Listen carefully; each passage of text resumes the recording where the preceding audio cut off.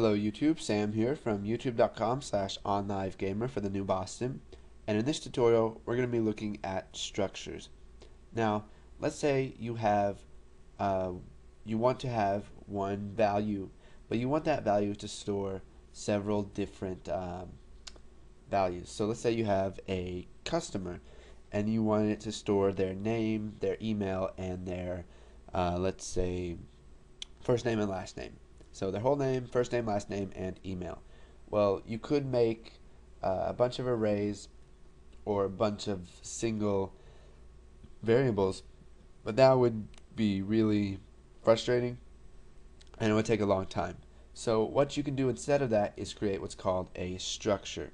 Now a structure is similar to a class in uh, and what I mean by that is that it can have methods, constructors, nested types, and other stuff but one difference is that it uh, it's missing some of the other stuff that a class is, and it's light. It's very lightweight. It Doesn't take up much resources.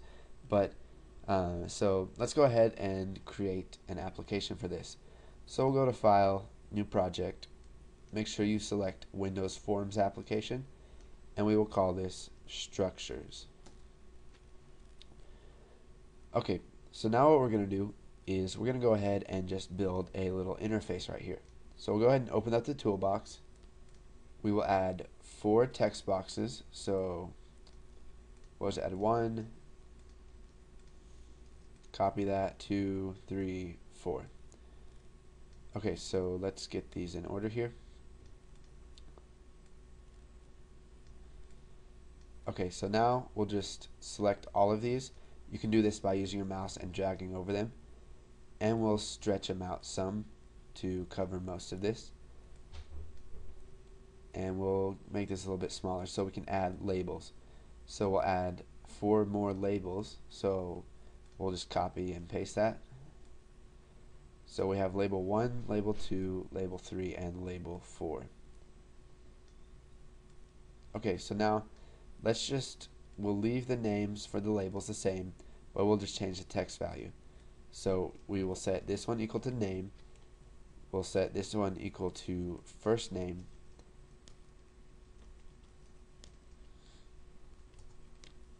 We will set this one equal to last name and we'll set the last one equal to email.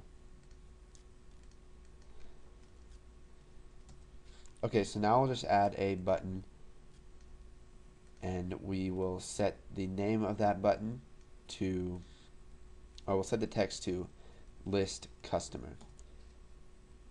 And if you haven't already guessed, we're going to be dealing with some uh, fake customers in this uh, program. So we'll set this to text name. We'll set this one to text first name.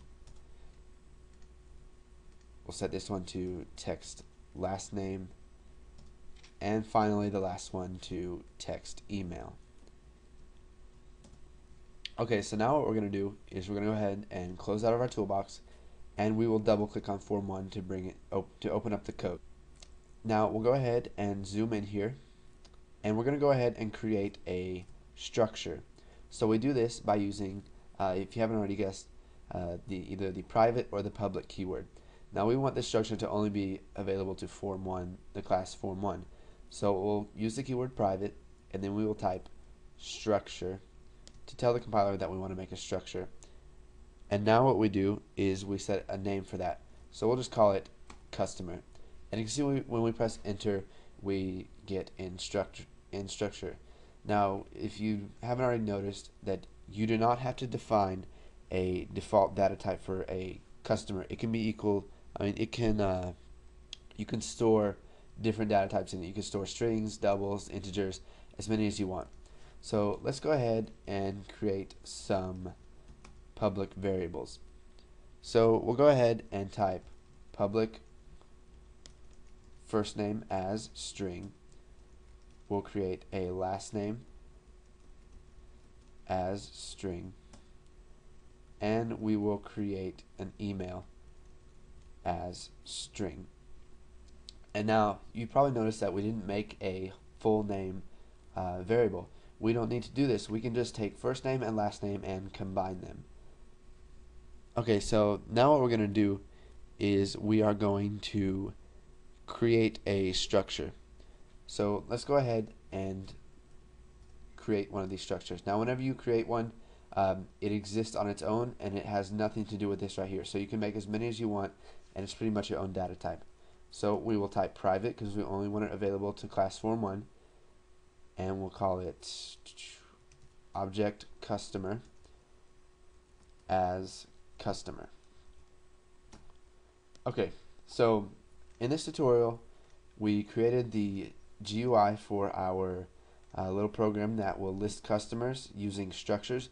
We created a structure and we uh, made an instance of that structure that we can use throughout our, our whole class. Now we can make as many of these as we want, but we just have to have different names for them. So um, go ahead and put this code in if you haven't. You can play around with what you can do with structures. Uh, if you want to go ahead and use IntelliSense uh, to see what you can do and learn on your own. Uh, and if not, go ahead and move on to the next tutorial and do it anyway, even if you do uh, mess around with the structures. Move, move on to the next tutorial and we will be working more on this program. So thanks for watching guys.